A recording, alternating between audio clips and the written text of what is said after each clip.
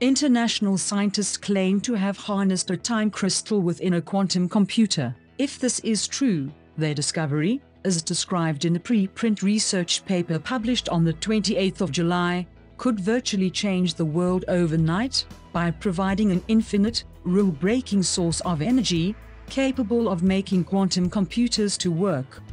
Let us begin by defining what a time crystal is. A time crystal is a rare form of matter that undergoes constant change but never appears to consume any energy. The time crystal is capable of violating both Newton's first law of motion and the second law of thermodynamics. For example, consider a rolling marble that continues to roll until other forces act on it.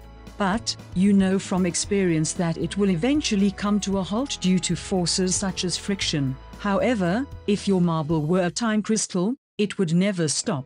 This violates Newton's first law. You are aware that this universe is constantly changing. However, because time crystals are notorious rule breakers who despise change, their disorder remains stable over time. Indeed, this distinguishes time crystals as an entirely new phase of matter. What difference does it make? This essentially means that time crystals can change states without ever consuming any energy. That is, it could continue to do whatever it is doing indefinitely. You are aware that binary systems, which we employ, have only two choices, that is, on or off, or possibly zeros and ones. However, thousands, millions, or even more possibilities exist. Rather than attempting to force a binary-based computer to perform the task in an inconvenient manner, a quantum computer may enable scientists to more naturally represent what occurs.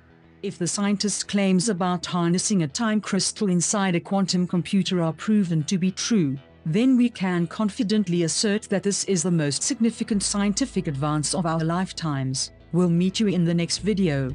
Please subscribe for more information. Thank you.